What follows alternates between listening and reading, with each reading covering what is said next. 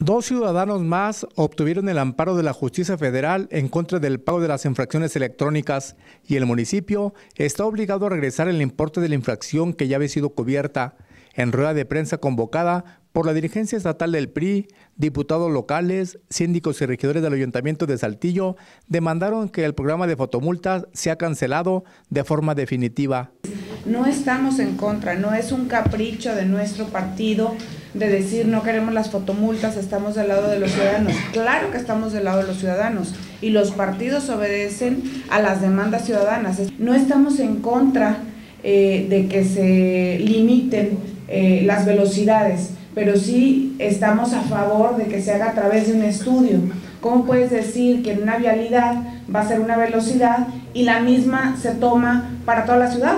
Y estamos a favor de que se hagan campañas de concientización, estamos a favor en el PRI de que se baje el número de accidentes viales, estamos a favor eh, de, que se hagan estas, eh, este tipo de acciones. Sin embargo, no estamos a favor de que se violen ni los derechos humanos ni tampoco los derechos de los ciudadanos. Exhortaron a los ciudadanos que se sientan vulnerados en sus derechos con las fotomultas a ampararse en contra de ellas, al igual que cinco ciudadanos que ya obtuvieron el amparo a su favor. Con imágenes de Carlos Hernández, para RCG informó Eduardo Hernández.